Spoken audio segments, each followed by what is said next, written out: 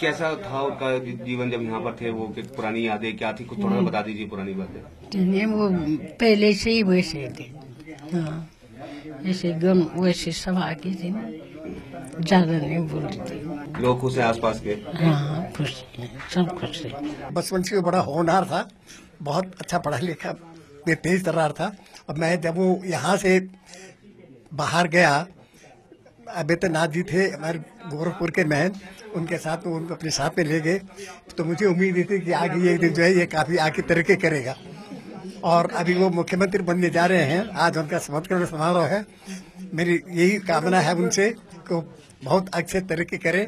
और अपने उत्तर प्रदेश का विकास सबको साथ में करके करते रहे। बस टीवी से हटे ही नहीं टीवी के सामने ऐसे बैठ गए न खाना खाया न कुछ पानी पिया बैठे रहे वहाँ पे छत में जाके पटाखे फोड़े बहुत सारे पटाखे फोड़े हमने। पहले खेलते थे मारपीट होती थी उनको मतलब समझाते थे बहुत अच्छा लगता था मतलब परिवार में जब वो यहाँ से चले गए बहुत दुख हुआ उस समय। कोई ऐसा किस्सा जो याद हो कि बहुत ज़्यादा